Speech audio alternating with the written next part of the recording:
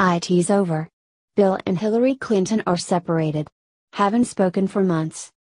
If you have been paying attention, it has been months since we have seen Bill and Hillary Clinton together and now we know the exact reason why. It seems, the last time they were together, former President Bill Clinton threw Hillary's new book in the garbage and told her, the book made her look bewildered, angry and confused. Not often I agree with Bill Clinton, but he was correct. In fact, many Democrats were against Hillary writing her book. Hillary reportedly blames Bill's criticisms on his lack of sympathy. She says that it's driven a wedge between them. As well, reports state that they haven't spoken to each other in months and only speak through friends and third party lawyers. Before Hillary sent the manuscript to her publisher, she gave it to Bill to read. Bill had red pinned the book in an attempt to improve it, but flew into a rage when Hillary refused to read any of his notes. He got so furious that he tossed the entire manuscript into the garbage. So now they are separated.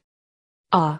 Wasn't it really that way sans the two times Hillary Clinton ran for president and lost? Right wing news reports. Gossip columnist Ed Klein, who has been covering the Clintons and Kennedys for decades, has a new book coming out at the end of the month, All Out War the plot to destroy Trump and gives a behind the scenes look at the Clinton camp. Political storytelling is all well and good, but it's nice to hear some insider gossip about the former and God willing never again first couple.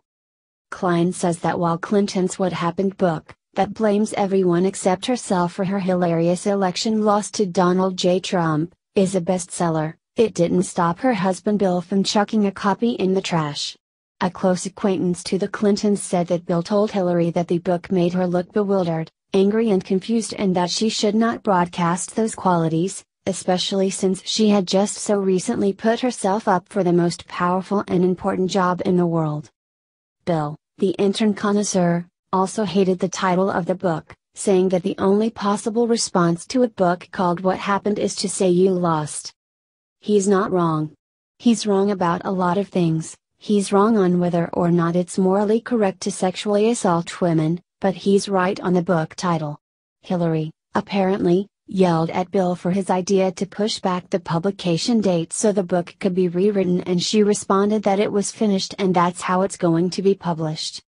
All this took place last summer, and Klein says that negative feelings within the bounds of their holy, holy matrimony are getting more intense while Hillary uses her Costco milk aisle book tour to blame Russian hackers, James Comey of the FBI and the woman who voted for Trump for her loss.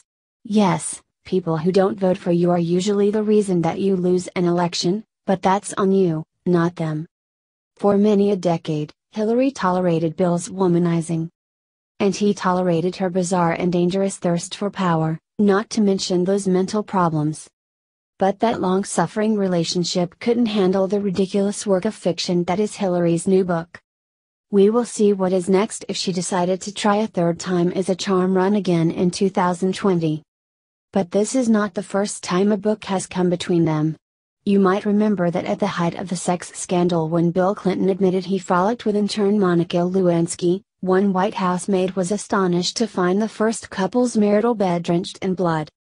Explaining an injury, the president claimed publicly that he had hurt himself running into the bathroom door in the middle of the night. But one White House domestic said that we are pretty sure Hillary clocked him with a book. Oh boy!